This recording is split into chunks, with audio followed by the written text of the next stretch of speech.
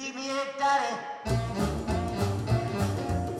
Oh, come on, Lou. Stay with us. Oh, Max, I would if I could, but I think I've already missed my bus.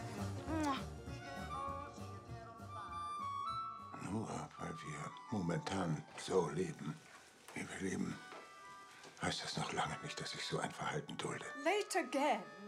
Exactly 17 minutes today.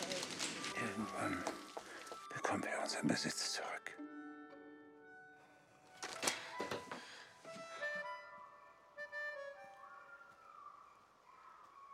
Good evening. Good evening. Hast du gesehen, wie gut er gekleidet war? Der hat's wirklich zu was gebracht hier. Vor dem Krieg waren wir mit seiner Familie befreundet.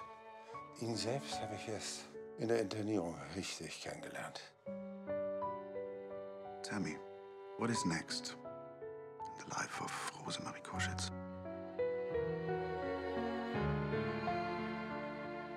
Who was that fella the other night? He's a friend of my father's.